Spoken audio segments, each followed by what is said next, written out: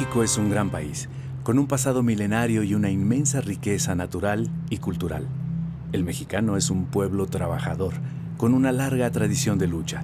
En nuestros días, México vive una de las crisis más graves que le hayan ocurrido en su historia. Hoy en día existe un deterioro constante en lo económico, en la política, en la sociedad, en la cultura, el medio ambiente, la seguridad y la soberanía. El ingreso se ha concentrado como nunca en unos cuantos. Por ejemplo, los nueve multimillonarios más ricos de México acumularon en 2011 una fortuna de 124 mil millones de dólares. Eso representa 10% de la riqueza producida en el país. En cambio, 60 millones de mexicanos viven por debajo del umbral de la pobreza. El descontento social y la insatisfacción ciudadana crecen cada día.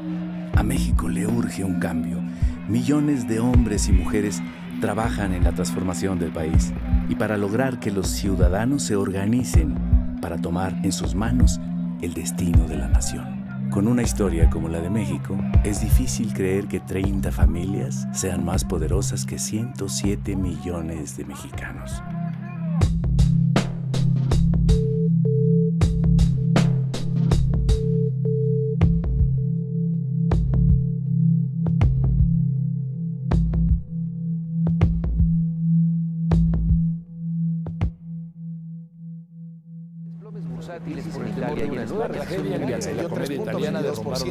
La inestabilidad alcanzó la bolsa mexicana de valores. El desempleo está en 4.46. En este contexto, el doctor Carstens decidió revisar a la baja el pronóstico de crecimiento económico. Y lo que sí sabemos es que siempre pierden los salarios. Trabajadores de Mexicana de Aviación exigen la reactivación de la aerolínea. Dicen que la situación de México es cosa del destino. No hay empleo, no hay este, forma de cómo buscar la vida honradamente, por eso la gente se, se van en lo, más fácil, por eso es que se vuelve todo muy difícil la situación. ¿Cuáles son las causas del actual desastre nacional? Hay muchas cosas que están mal en México, pero sin embargo todos no decimos nada. Es el principal problema. Mientras no digamos nada, esto va a seguir igual. En lo que coincidimos casi todos los mexicanos es en el diagnóstico. México está en crisis y cayendo. A mucha gente no le gusta escuchar esto. Piensan que si ignoran lo que pasa, evitarán que les afecte. Pero es importante saber lo que ocurre para poder cambiar nuestra realidad. Ya cada día se tiene que prescindir de un producto para poder comer y cada día eso pues afecta a la salud, afecta también a la población en cuanto a la educación, o sea, un niño que tiene hambre, que va sin comer a la escuela, pues evidentemente no va a rendir lo mismo que un niño que, que está bien nutrido. Entonces no hay mejoramiento de la vida, cada día el nivel de vida es peor y las condiciones pues como ya lo vieron aquí no, como que no hay esperanza para el futuro.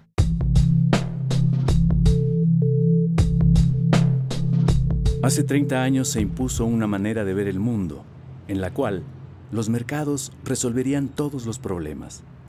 En el caso de México, la bandera del libre mercado impuso el modelo neoliberal. Desde entonces, a la sombra del poder político y del erario público, se amasaron grandes fortunas, sobre todo con la privatización de empresas públicas y de recursos naturales de la nación. No se justifica lo que está sucediendo, ¿no? que haya tanta pobreza, el que haya tanto abandono, el que inseguridad, el que haya violencia. Yo antes pensaba que el problema de México tenía que ver con la desigualdad, desde luego, que es monstruosa, y con la corrupción. Un problema estructural más profundo que es un orden económico y una clase económicamente dominante dentro de este orden, que son los empresarios, no en general, porque hay empresarios que arriesgan su dinero, que hacen un trabajo productivo, sino a un sector en particular. Esta oligarquía que no solo gobierna, sino que también especula con el monopolio, que especula con la renta, que especula con la depredación del medio ambiente y con la sobreexplotación del trabajador. Esa gente que eh, tiene el poder económico captura el poder político y el resultado fue esa gran concentración de ingreso y de poder. Me parece que ha sido un proceso de devaluación de la población se le ofreció a la burguesía mexicana el negocio de insertarse en la economía global. Y pues ese negocio consistía básicamente en vender petróleo, desde luego, vender turismo, una fuente de mano de obra más barata, pues para reducirle todas las, las condiciones laborales a los trabajadores de Estados Unidos. Este modelo que se empieza a aplicar en el mundo desde mediados de los 70 y se define que había que apostar por la privatización, que había que pensar en ayudar mucho a que los de arriba hicieran dinero, porque si había dinero arriba iba a permear. Para llegar a eso se tenía que entregarles a ellos los bienes de las naciones, los bienes de los pueblos. ¿Qué tipo de riqueza es la que las instituciones han favorecido que se acumule? Y uno debiera pensar que esta riqueza no es precisamente la que se hace, diríamos, de manera honesta, produciendo y haciendo inversiones, sino la riqueza que se obtiene mediante los monopolios, los monopolios excluyentes. Vamos a ver, digamos, eh, el Estado controló en México la banca completa y hoy el sistema financiero ha sido privatizado de nueva cuenta. El sistema financiero es eh, la fuente de acumulación especulativa más grande de la humanidad entera. Estas grandes corporaciones económicas legalmente, mediante reformas en el Código Fiscal, no es algo ilegal, tienen regímenes eh, fiscales de excepción. Son regímenes fiscales que les permiten, por ejemplo, pagar menos impuestos sobre la renta que un profesionista liberal, que un médico, que un abogado, que un trabajador.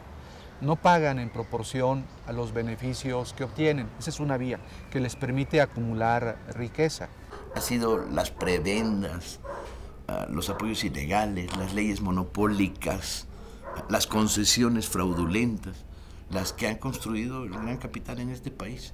Se ha construido a la sombra del favor. La concesión para que tengas una televisión para toda tu vida, la utilización del Estado como el gran financiador de la riqueza privada y del gran capital y de la oligarquía. Este modelo avanza en su salvajismo, en su barbarie, de manera progresiva. Es decir, se empieza con las desincorporaciones, con las ventas de entidades de propiedad pública, se sigue con el saqueo descarado, se sigue con el contratismo que permite transferir muchos miles de millones de dólares de la propiedad pública a la privada. Un proceso de destrucción de una parte de lo que fue la industria nacional, ¿sí? en el sector metalúrgico, en ferrocarriles, en bancos, en vías aéreas, un proceso de privatización siempre además teñido por el estilo mexicano, abuso de poder, corrupción, entregarle a herederos, primos, amigos, cuates, ¿no? parte del negocio.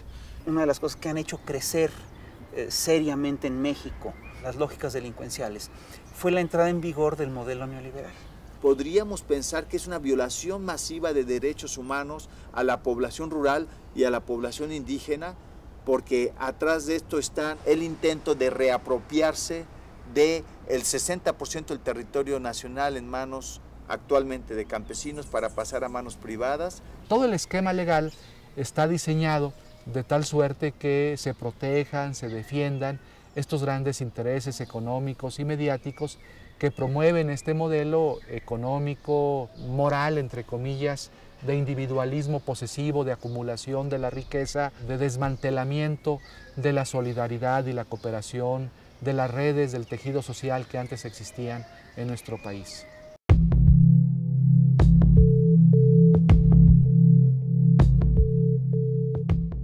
Salinas llega a la presidencia, sabemos en qué condiciones, y empieza a modificar las leyes, la constitución, y empiezan a entregar bienes de la nación, bienes del pueblo, a particulares, nacionales y extranjeros. Salinas impuso la agenda neoliberal, creó un grupo compacto con los beneficiarios del remate de los bienes públicos, quienes le ayudaron, económica y políticamente, a crear un poder transeccional.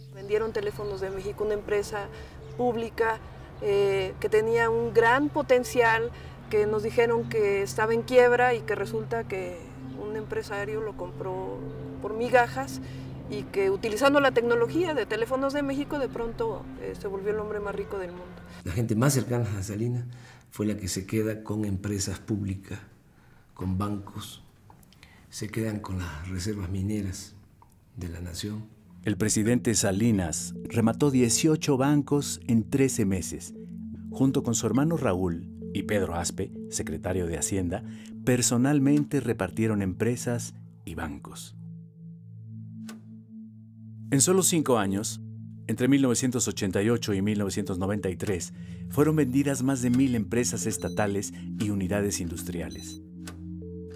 Nosotros privatizamos los bancos, la compañía telefónica, las líneas aéreas, la siderurgia, las minas.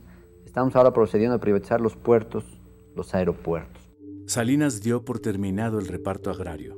Promulgó la reforma al artículo 27 constitucional aprobada por el Congreso que legalizó la venta de tierras ejidales y comunales. Modificó la ley minera y desincorporó reservas nacionales. Autorizó concesiones a particulares nacionales y extranjeros para explotar las riquezas mineras de México. Y, por si no fuera suficiente, derogó el impuesto a la extracción. Se llevan todo y no dejan nada. Hay un dato que es revelador eh, de lo que significó este saqueo en 1988, en la revista Forbes, que es la revista especializada en finanzas donde aparece la lista de los hombres más ricos del mundo, solo eh, aparecía en esa lista una familia mexicana, los Garzazad. Y al final del sexenio de Salinas, la revista Forbes de 1994 da a conocer que ya hay 24 multimillonarios mexicanos que ya están eh, en la lista de los hombres más ricos del mundo. En su conjunto acumulan alrededor de 48 mil millones de dólares. O sea, este es un dato eh, importante porque refleja eh, con claridad de cuánto fue el traslado de dominio de bienes de la nación, de bienes del pueblo, a particulares.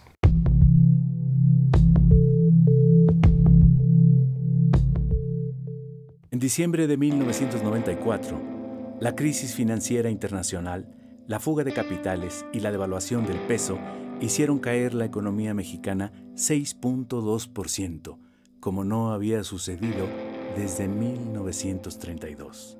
La primera decisión que tomó el presidente Cedillo fue rescatar a empresarios y banqueros con recursos públicos, olvidando a los deudores y a la gran mayoría de los mexicanos creó el Fondo Bancario de Protección al Ahorro, FOBAPROA. Se rescató básicamente a los grandes banqueros, eh, a los grandes intereses económicos con recursos públicos y ahí participó el Ejecutivo, eh, o sea, Cedillo, y participó también eh, la Cámara de Diputados, el Congreso de la Unión, avalando esa privatización de los beneficios y socialización de las pérdidas. El FOBAPROA es un barril sin fondo Cedillo prometió que el rescate bancario costaría 180 mil millones de pesos. Desde 1995 se han pagado intereses por más de 600 mil millones de pesos, pero la deuda sigue casi intacta.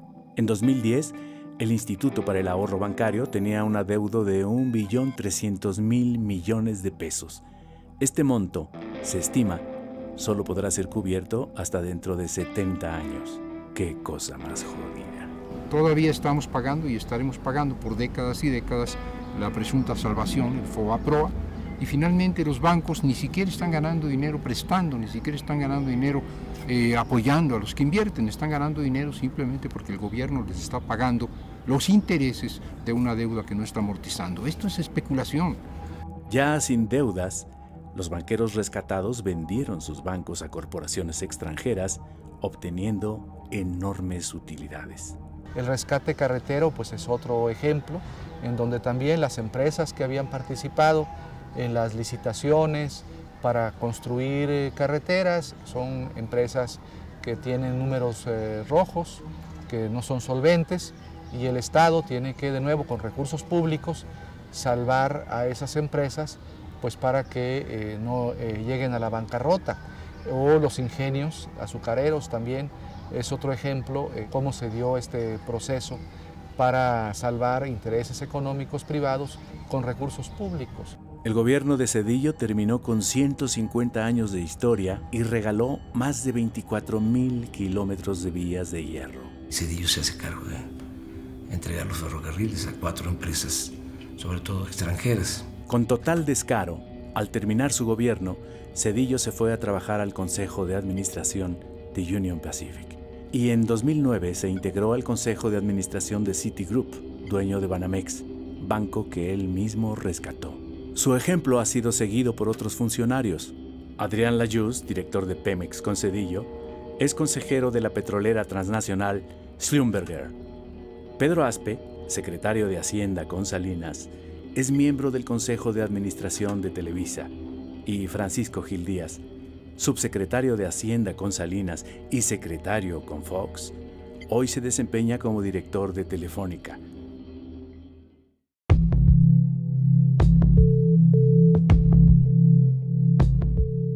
Gracias al empuje democrático de la sociedad mexicana, en el año 2000, el panista Vicente Fox ganó la presidencia de la República y acabó con más de 70 años del régimen priista.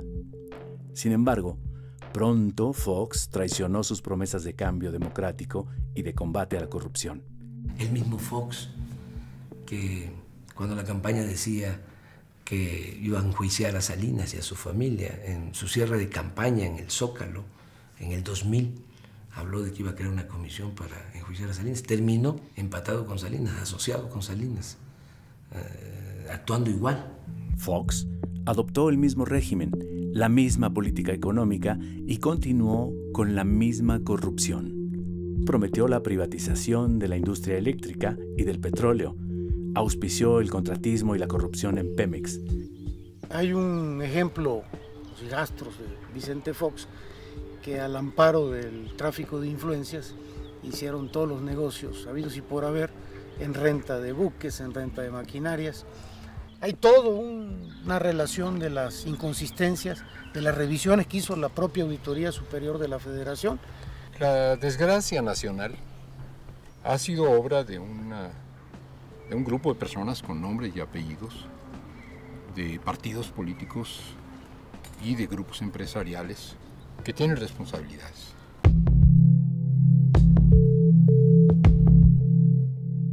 La oligarquía mexicana se hizo tan poderosa que se colocó por encima de las instituciones. Ellos son los que mandan el poder legislativo, en el poder judicial, en el poder ejecutivo, y tienen el control, que es lo que más les apoya para imponerse, eh, de los medios de comunicación.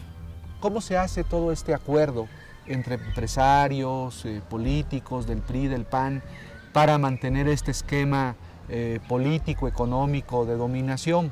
Estos empresarios pues pagan las campañas de los políticos afines y una vez que estos políticos afines llegan a las cámaras del Congreso, a las gobernaturas o a la presidencia de la República, pues esos políticos responden a los intereses de estos eh, empresarios que financiaron las campañas, sobre todo el apoyo de las televisoras.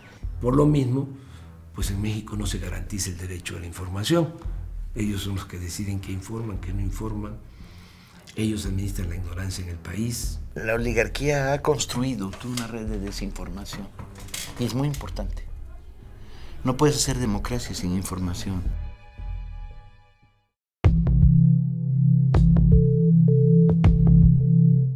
La economía de México no ha crecido prácticamente en 30 años. Se destruyó la planta productiva nacional y el campo, y se acabó con el estado de bienestar. Se olvidó que para que un país pueda crecer en forma sostenida, genere empleo, eh, bienestar y, condiciones que favorezcan eh, la paz social, se requiere eh, que el país produzca. El México rural ha quedado en la ruina. Nuestro país ha vivido en los últimos 30 años lo que yo llamo una guerra contra la agricultura campesina, contra los pequeños y medianos productores de nuestro país, para imponer un modelo de dependencia alimentaria, un modelo de alimentación chatarra y un modelo de desigualdad, aumentando la pobreza y la malnutrición de nuestro país. Los tecnócratas redujeron los apoyos a los productores eliminaron aranceles y permisos de importación, también la inversión pública destinada al sector agropecuario. Desmantelando la producción nacional, dándole la espalda a, a los campesinos mexicanos y generando una liberalización que solamente ha beneficiado a un puñado de grandes corporaciones agroalimentarias mexicanas y transnacionales. Los empresarios pequeños y medianos pues son los olvidados del sistema y sus intereses son sacrificados a los intereses de los grandes empresarios monopólicos que son los que controlan eh, al gobierno. El sector energético nacional dejó de ser prioridad. Nos tardamos muchísimos años, décadas, en construir empresas mexicanas eh, del Estado eh, con una fuerza técnica muy importante y en los últimos 20 años prácticamente lo han ido desmantelando poco a poco. A pesar de que constitucionalmente está prohibido, se permitió, digamos, entre comillas, la participación eh, privada en la generación eléctrica. La industria petrolera nacional ha sido desmantelada. Todo se concentra en la venta de petróleo crudo al extranjero. México importa más de 40% de la gasolina que consume y 25% del gas que necesita. Eso provoca los altos precios en los energéticos que perjudican a los consumidores y productores. Las inversiones en Pemex no solo, no solo cada vez son de menor cuantía, sino que están mal dirigidas, con toda la intención no de producir más hidrocarburos, sino con la intención de hacer negocio con empresas particulares. A inicios de 2008 hay una iniciativa de Calderón de privatizar prácticamente todas las áreas del sector petrolero. Eso él le llamaba una reforma energética. Toda la cadena petrolera se quería privatizar. Viene un gran movimiento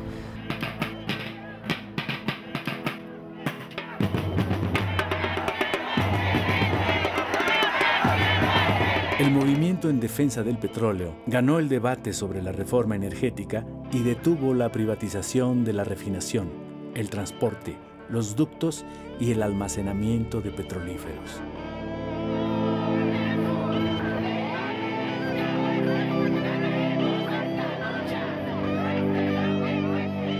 Aunque hay que decir que eh, las luchas logran parar, pero el intento privatizador por parte de Calderón sigue.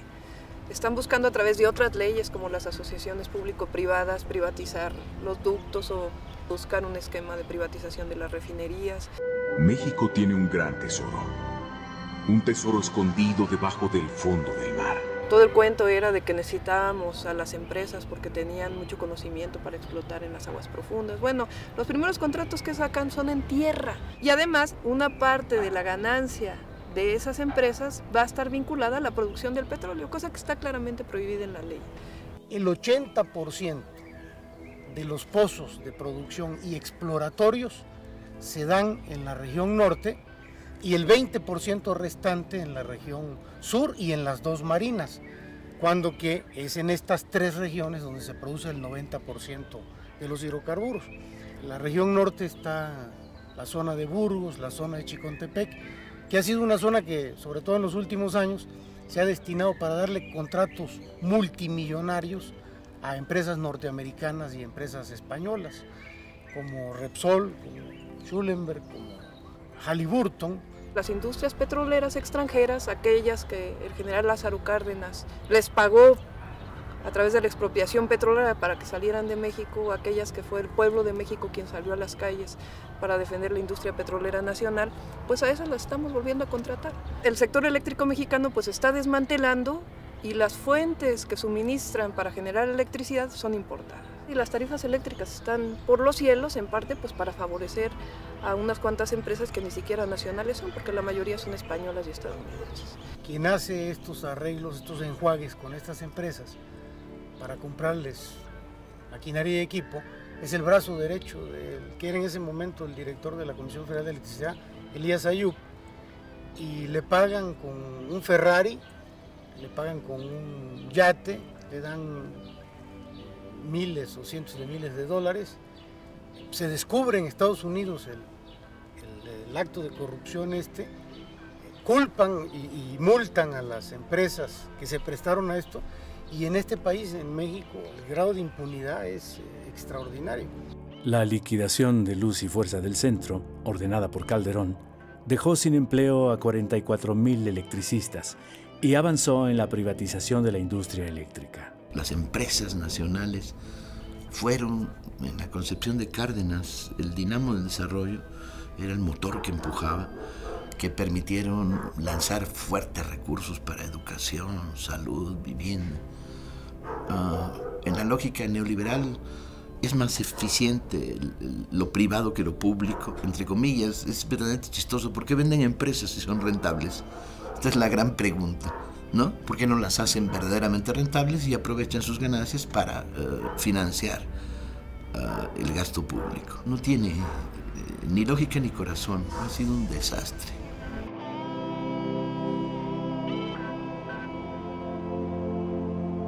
El neoliberalismo en México es sinónimo de saqueo, abandono y corrupción. Este proceso explica todos los fenómenos que vienen después.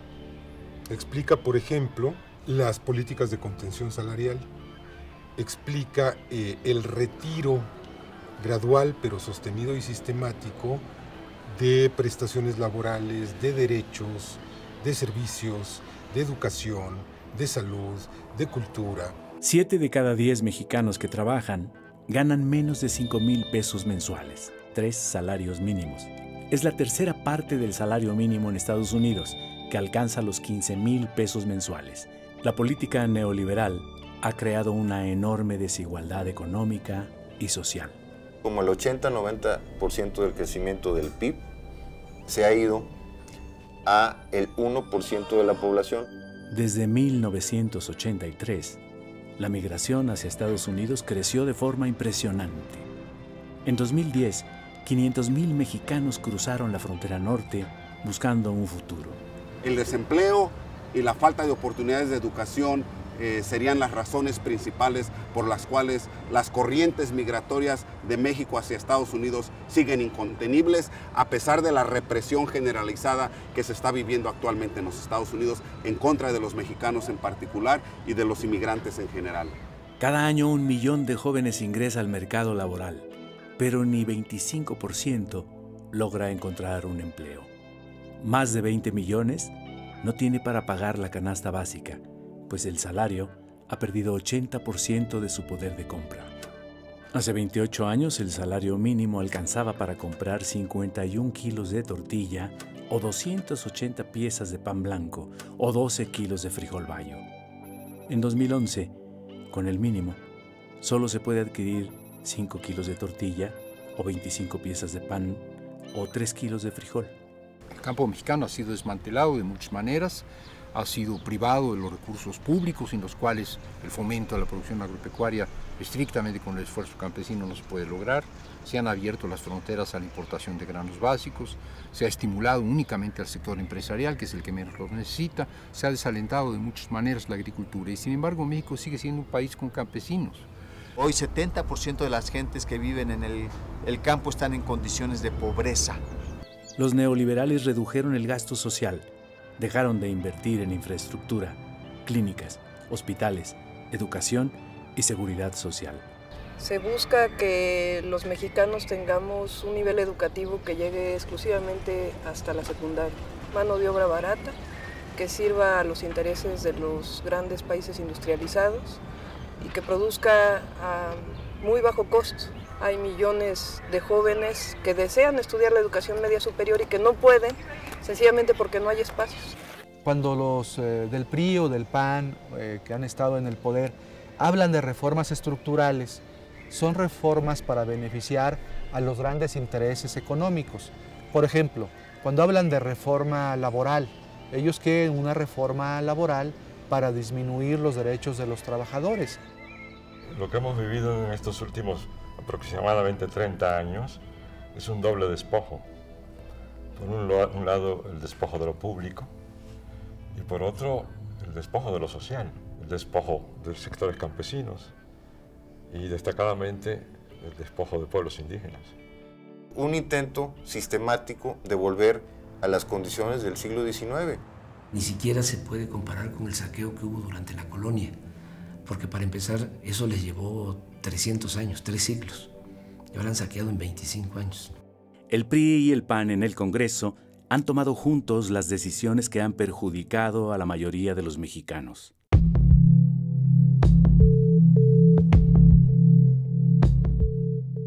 De Salinas a la fecha han concesionado 52 millones de hectáreas. Estamos hablando del 26% del territorio nacional. Ni en la época de Porfirio Díaz las compañías deslindadoras llegaron a quedarse con tanto. Empresas fundamentalmente extranjeras y muy poquitas, este, pero muy poderosas empresas mexicanas que están metidas en el negocio de la minería.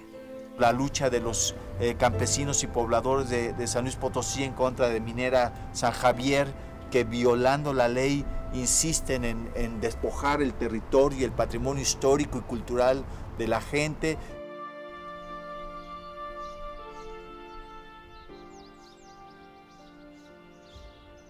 Viene la compañía minera San Javier y venden todos los lotes mineros, venden todas las concesiones, venden las calles, venden la iglesia, venden el pueblo, venden todo lo que representa el pueblo y nos dejan a la deriva. Formamos un grupo que en la actualidad se conoce como el FAO y ha llevado una lucha durante 15 años contra un proyecto minero que pues, todo el mundo conoce, el de Minera San Javier.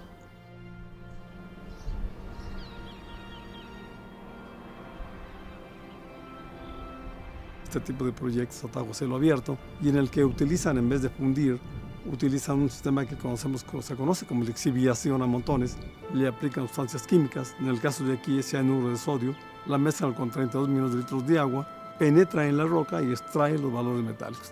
Y además utilizan 25 toneladas de explosivos.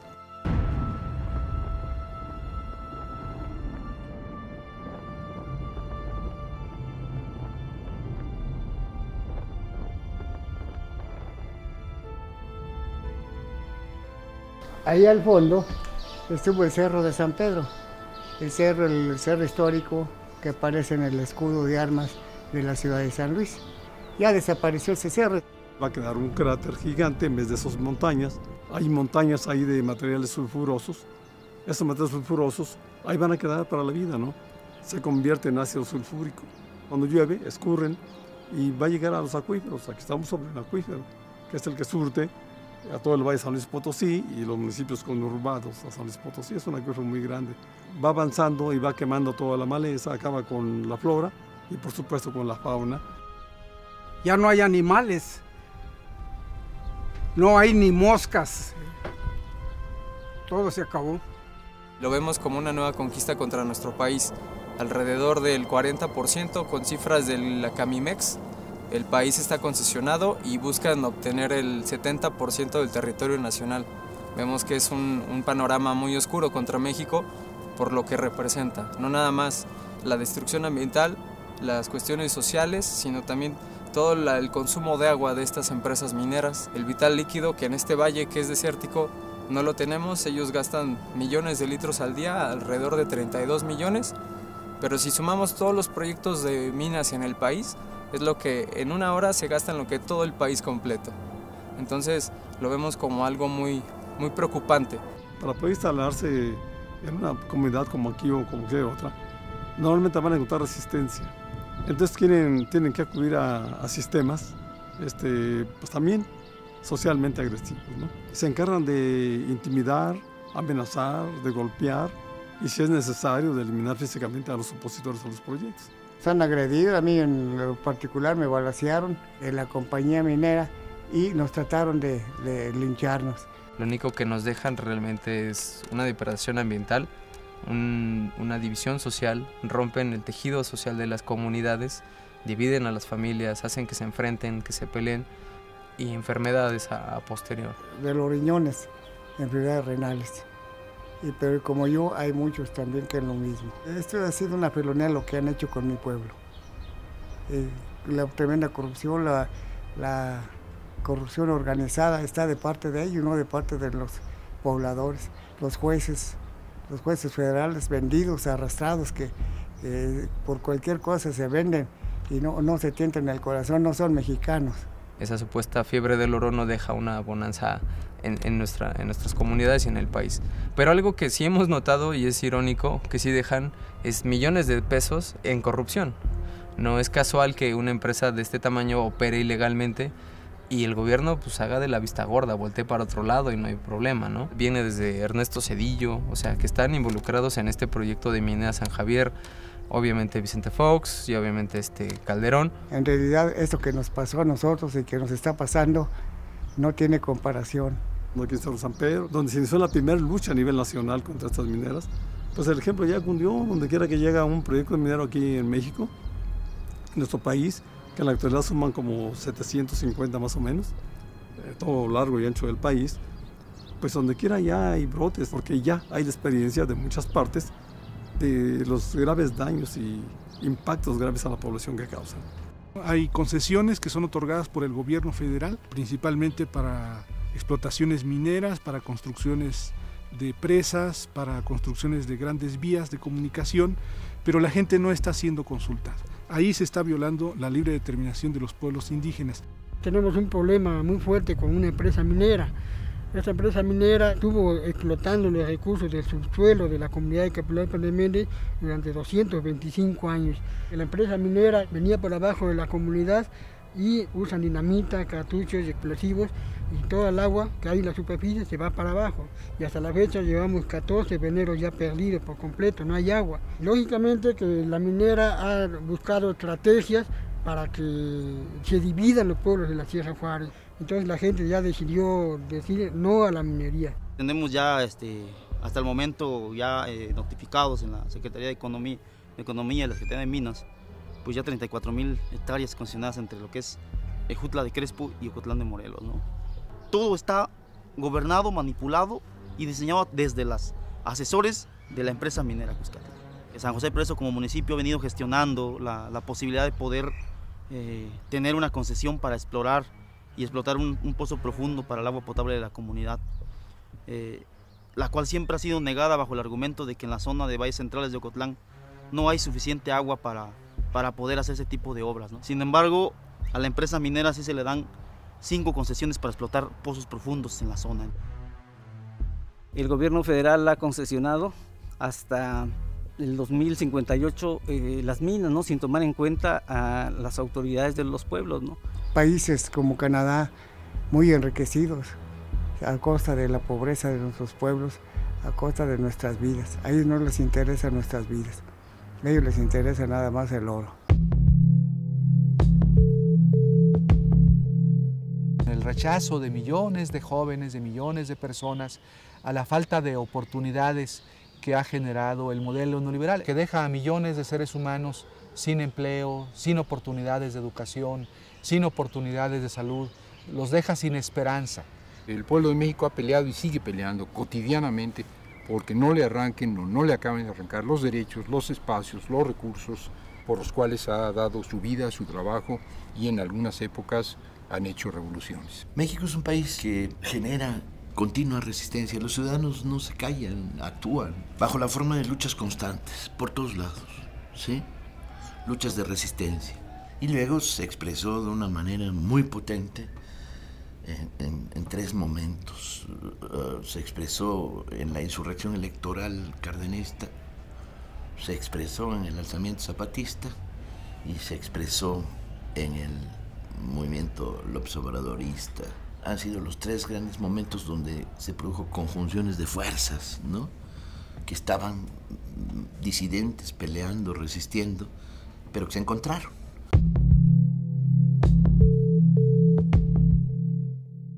A principios de 2003, Fox permite el regreso de Carlos Salinas a México.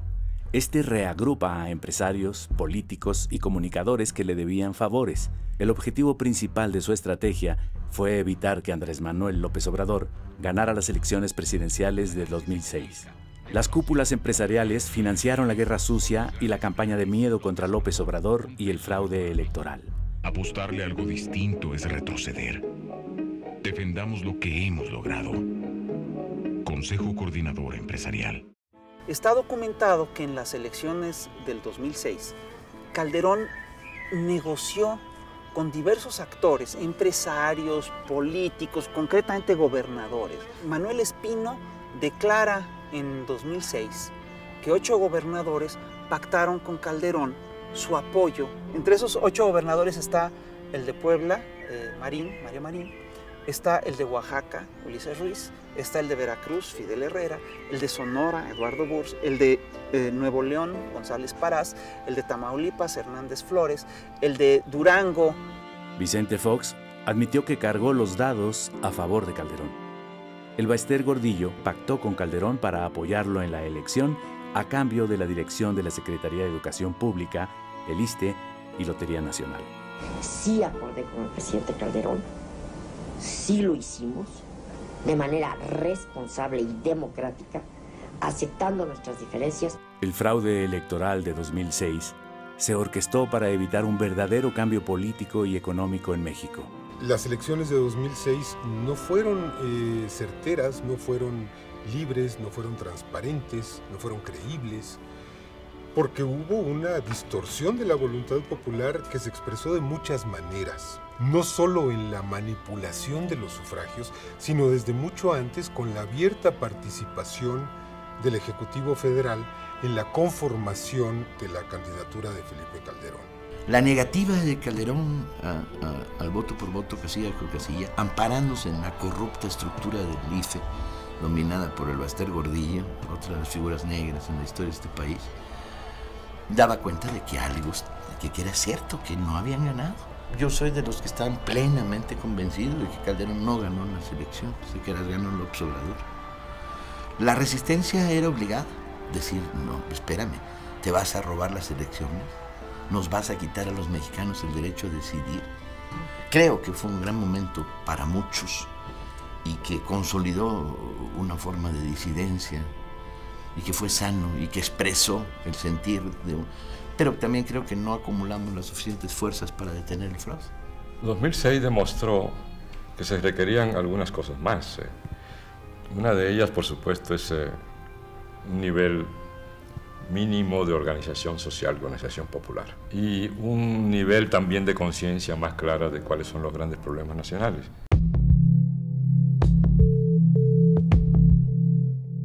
En enero de 2007, Andrés Manuel López Obrador emprendió un recorrido por todo el país, con el objetivo de mantener encendida la llama de la esperanza, recoger los sentimientos de la gente y convocar a la organización del pueblo.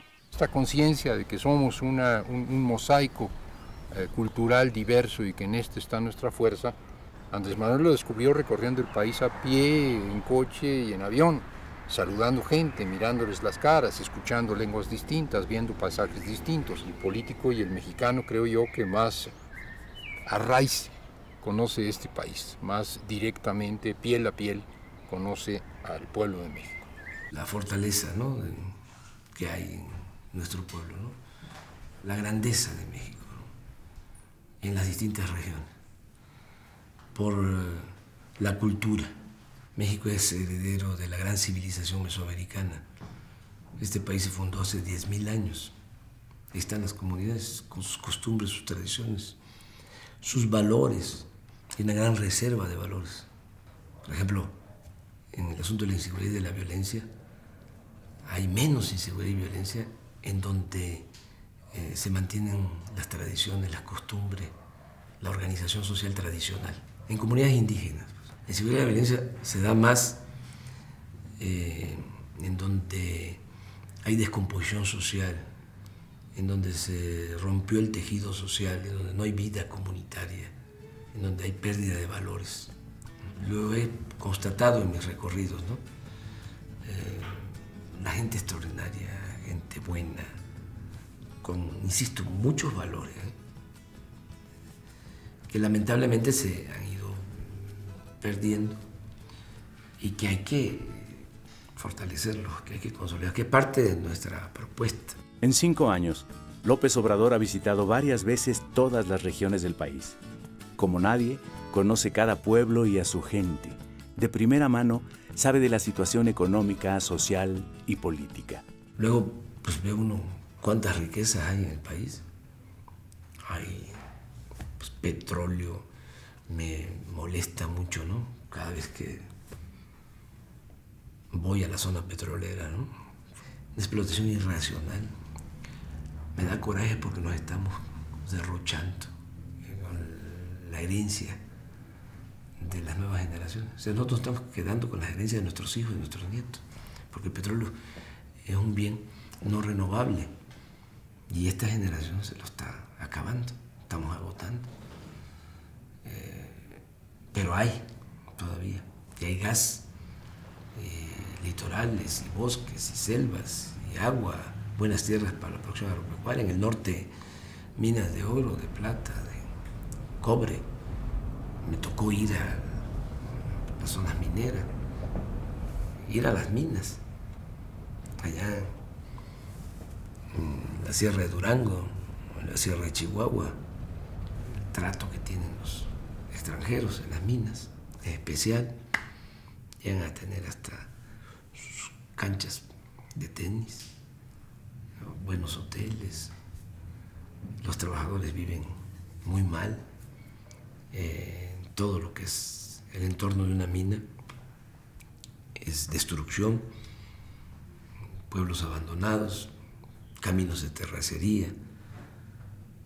No pagan los canadienses a los obreros mineros mexicanos lo que se paga en Canadá. Tampoco se cuida el medio ambiente como se cuida en Canadá. Entonces todo eso lo vi, eh, lo, lo, constato. Me duele mucho todo lo que tiene que ver con la pobreza. Este, mucha pobreza. Eso no hablamos mejor, pero es muy doloroso, porque hay mucha gente que no tiene ni para comer. Bueno, hay partes buenas, bueno, todos buenos, pero eh, tenemos un país con mucha belleza también. Ha sido para mí un privilegio, ¿no? Eh, el recorrer a ras de tierra todo el país, conocerlo muy bien.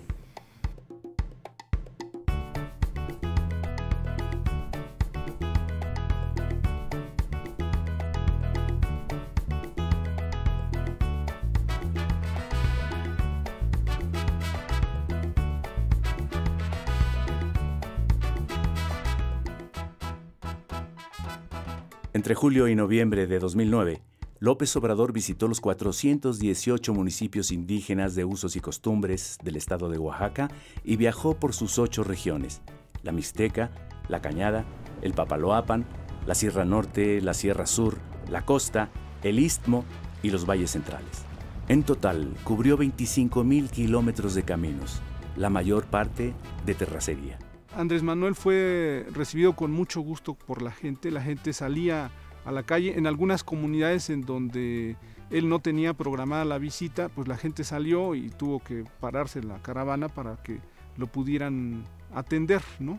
Entonces fue recibido con mucho gusto, levantó una, una gran expectativa y la gente se, se acuerda de él. ¿no? Él se encontró eh, con un modelo de organización que no existe en muchos lugares del país. La gira por los pueblos, los municipios eh, de usos y costumbres de Oaxaca, eh, que le permitió, digamos, ver de más, más de cerca y en conjunto cómo funciona este mundo indígena y cómo allí hay un conjunto de riquezas culturales, eh, morales, intelectuales, de visión del mundo, de cosmovisión, que son elementos fundamentales que inspiran el tipo de nueva sociedad que hay que construir.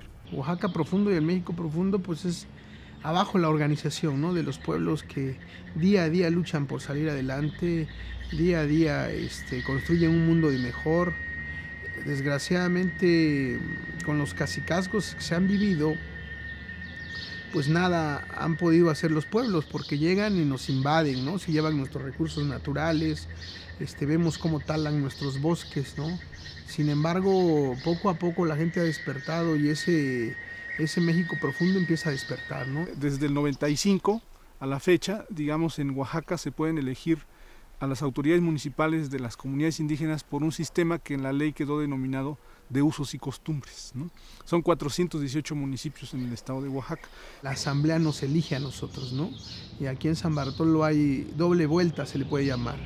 Primero eligen una terna, luego una segunda terna, una tercera terna y viene la segunda vuelta de las tres ternas ganadoras para competir quién es su representante, ¿no? Y eso, eso nos hace fuertes a todos, ¿no? A todos los que ocupamos el cargo de presidentes municipales y bueno, el compromiso que hacemos ante el pueblo, ¿no? De mandar obedeciendo. La asamblea decide qué hacer con nuestros recursos, bosque, el agua, este, el medio ambiente. Entonces la participa toda la ciudadanía en la toma de decisiones de, de nuestra comunidad. Cuidando la naturaleza, cuidando el medio ambiente, cuidando cuidando eso que tenemos que es la comunidad, la, unidad de la comunidad. La comunalidad es la tierra comunal, que eh, en, la comunidad de Guelatao este, nadie es propietario de sus tierras, las podemos utilizar, pero no podemos decir que somos dueños y por lo tanto no las podemos vender. El propietario de la tierra es la comunidad en su conjunto. Otro elemento importante es el trabajo colectivo. ¿no? el trabajo que todos los ciudadanos de la comunidad aportan para que la comunidad pueda resolver los problemas más importantes que tenga. La mayor parte de las obras que ustedes ven aquí se han hecho por tequio, ¿no? que es el trabajo desinteresado que otorga la comunidad. Los ciudadanos vamos y brindamos, limpiamos el mojo de agua, limpiamos los caminos, este, construimos las escuelas en su momento. Aquí hombres y mujeres trabajan, sí, Estamos acostumbrados. Sí. Yo acostumbro a agarrar la coa, agarro herramienta. Sí, yo trabajo también como trabajan los hombres. Muy importante es la fiesta. La fiesta, aunque se venera a un santo patrón, a un santo católico, digamos, lo más importante de la fiesta es la posibilidad que te da de convivir con la gente de la comunidad, con gente de la comunidad que está afuera y regresa a la fiesta, con eh, los vecinos de, otras comunidades y esto pues también fortalece los lazos de, identidad entre la gente de la comunidad con las gentes de otras comunidades vecinas. López Obrador encontró en Oaxaca a uno de los pueblos con mayor diversidad cultural. Conservan valores, costumbres, tradiciones comunitarias, lenguas y organización social, heredadas de la gran civilización mesoamericana. Yo creo que el licenciado Andrés Manuel tiene un buen aliado aquí en, la región de la, de la Sierra Juárez de Oaxaca. Y pues tenemos que seguir platicando con él para buscar cómo construir juntos este país. Hubieron muchos este, obstáculos por parte del exgobernador de, de, bloquear con los presidentes municipales, inclusive algunos llegaban a cancelar este, las reuniones, decían que no iba a haber, pero llegábamos y la gente ahí estaba. Me tocó darle la bienvenida licenciado López Obrador. Vino mucha gente, trajo bastante gente. No fue ninguna carriada, todos vinieron por su voluntad. En esa ocasión que visitó los pueblos de la sierra, yo lo recibí en este pueblo de Santiago, Yacuí. La gente mayor eh, se acercaba a él y, y, lo abrazaban, las señoras le daban este cosas de su región, ¿no? Que, pan, que panes, en el caso de, de Quiechapa, por ejemplo, ahí lo recibieron muy bien así con pan, con este mezcalito y eso, ¿no? Y así en, en todas las regiones era, era ese trato. Andrés Manuel convive con el pueblo, comparte con el pueblo el pan y la sal, lo vimos este, en los recorridos, no solamente por este municipio, estuvo más de dos horas en este municipio, eh, escuchó a la gente, preguntó, qué pensaban del país y se comprometió también, ¿no? Él dice, yo no vengo a prometer, sino vengo a comprometerme, ¿no? Y el pueblo lo siente como, como uno más de ellos, ¿no? Y es comprometido con la gente. Tuvimos ahí el acercamiento de licenciado Andrés Manuel López Obrador cuando anduvo haciendo recorrido por el estado de Oaxaca, San José del Progreso. Un servidor de, manera personal platicó con, con, el licenciado, les pusimos la problemática, eh, decir de, de, la misma manera, pues preocupado también por la situación pues nos hizo un llamado a la, tolerancia y a, buscar alternativas eh, pacíficas de, lucha y de resistencia contra esta empresa minera. Esa vitalidad política que hoy se tiene en los pueblos indígenas se tiene que, buscar cómo eh, va a incidir en, los otros, en las otras esferas políticas de nuestro país para lograr una transformación que realmente beneficie al pueblo de México.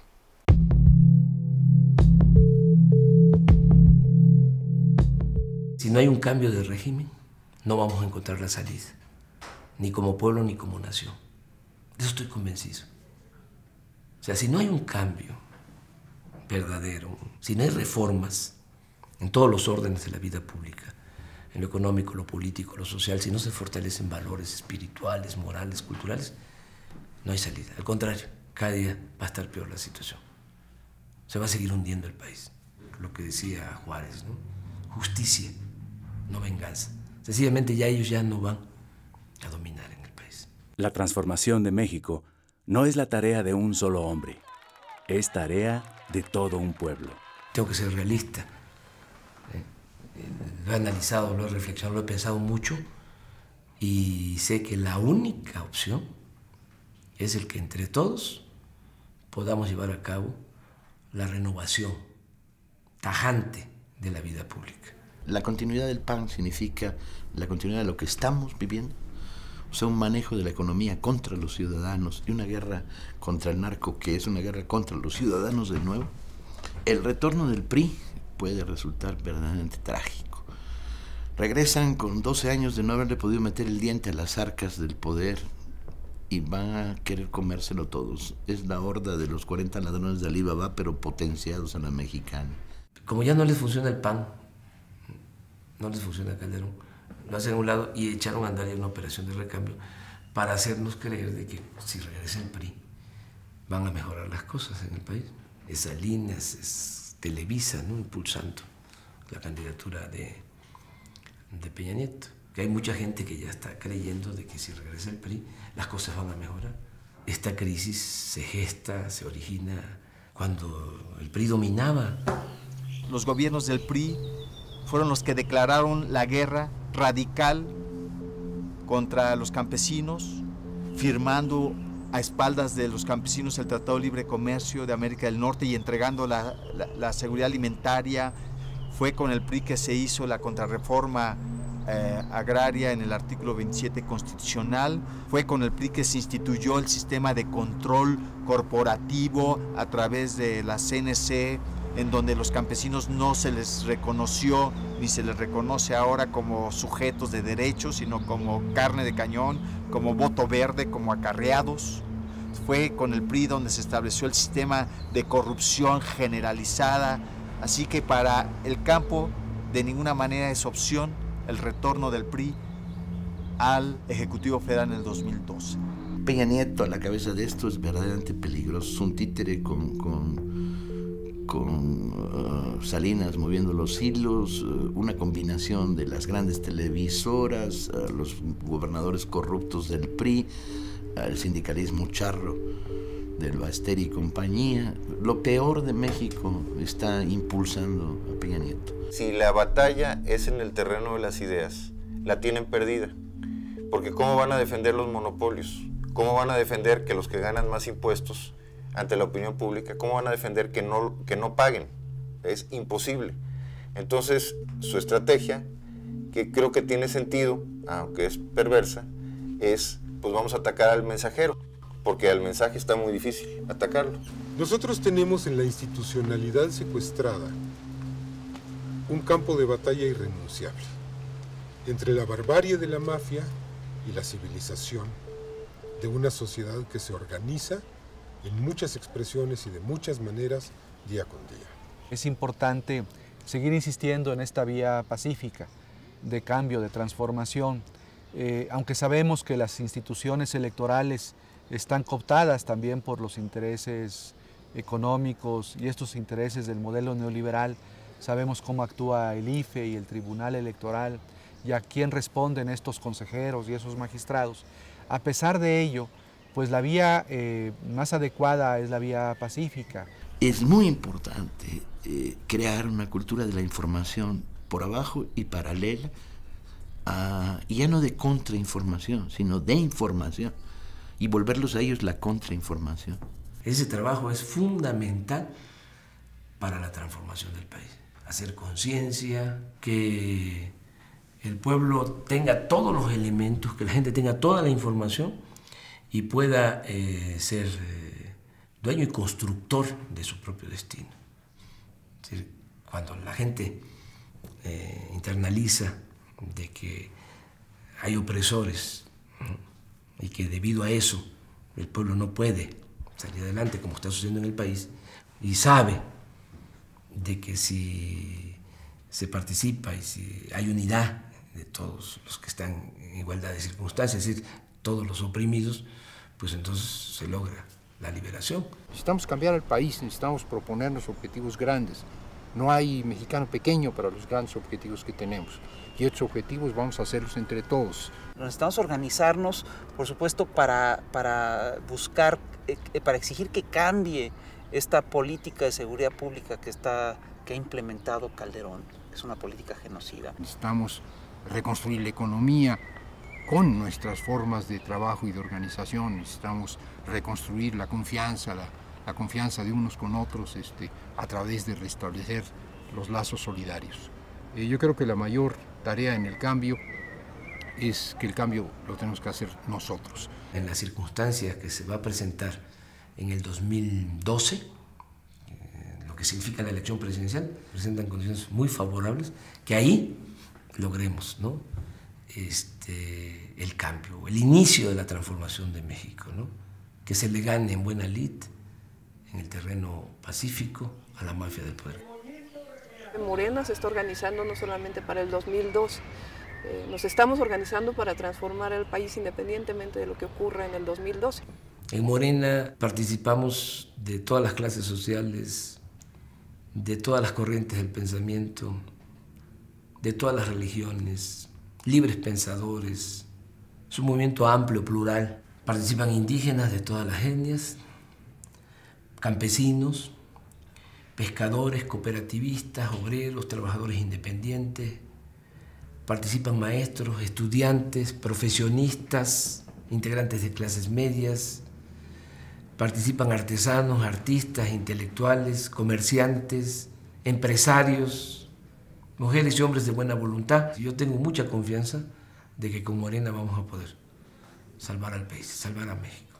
Cuando se promueve una iniciativa de organización como, como Morena, no te encuentres con individuos, te encuentras con familias, te encuentras con barrios, te encuentras con pueblos, te encuentras con ejidos, te encuentras con escuelas. Hay que hacer de esta organización una organización capaz de no solo preservar la colonia, el barrio, el pueblo, la fábrica, la escuela, sino de cambiar al país. Y esto es un movimiento, un movimiento mayor. Una aportación extraordinariamente importante de, del observador es el descubrir cuál es la palanca pues para el cambio. Es eh, una reserva moral, es una capacidad de, confiar en nosotros mismos, de apoyarnos en nuestra propia historia, en nuestra propia experiencia, en nuestra propia identidad. Lo que no hagamos por nosotros y desde nosotros y desde nuestras raíces no lo hará nadie, no hay recetas y en última instancia es nuestra historia la que nos puede inspirar. Creo que Andrés a través del, trabajo de construir a lo largo y ancho del país, Morena le ha dado forma a las necesidades de millones de mexicanos de mantenerse vivos, activos, en acción y en disidencia. Gente decente, honesta y luchadora y me parece muy positivo el fenómeno.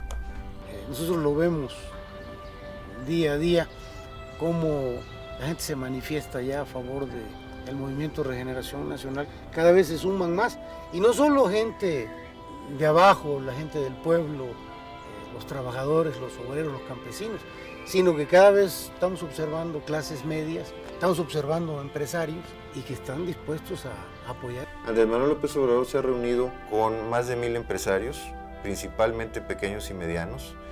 Eh, los empresarios salen en shock, un shock positivo, sobre la personalidad de Andrés Manuel, un agente de Estado, eh, una gente que contesta sus preguntas con razonamientos muy sólidos. El cambio en México tiene que contar con la fuerza de todos los mexicanos y nosotros en los Estados Unidos haremos lo que esté de nuestra parte para contribuir dentro de nuestras posibilidades. Queremos cultura para todos, educación para todos, trabajo para todos, para todas pero lo queremos organizado de una manera distinta, con instituciones muy poderosas, pero fincadas en la capacidad de decisión que tiene el pueblo de México sobre cada uno de los aspectos de su vida. Andrés Manuel López Obrador es un dirigente muy singular, porque creo que es un dirigente que se ha propuesto no concentrar el poder en sus manos, sino crear una concentración de poder en la sociedad. No se plantea la toma del poder por una persona, ni se plantea eh, el ejercicio de la presidencia como un fin en sí, sino como un medio para transformar al país. Considero que hace falta establecer en México una verdadera democracia, cortar de tajo el saqueo, la corrupción, que haya patria para todos los mexicanos, patria para los humillados, patria para el pobre, que haya un gobierno del pueblo, para el pueblo, que distribuya con justicia las riquezas de la nación y que mejore las condiciones de vida, las condiciones de trabajo, que se recupere la tranquilidad y la felicidad de nuestro pueblo. México no puede ser país de unos cuantos. México es de todos. Es uno de los países con más recursos naturales del mundo y con mucha fuerza cultural. Y que sí es posible sacar adelante a México.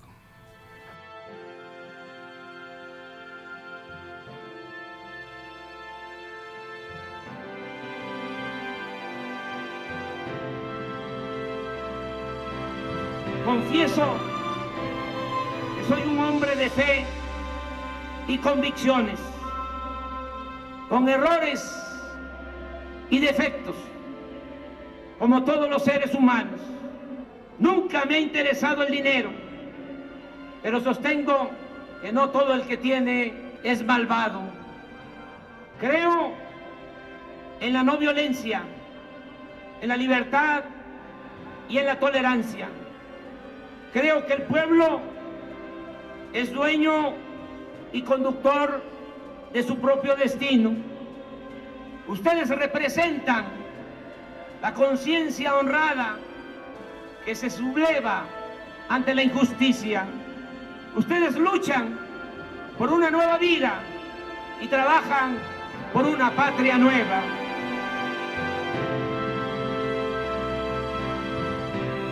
Si los mexicanos queremos, México cambiará y tendremos un país para todos.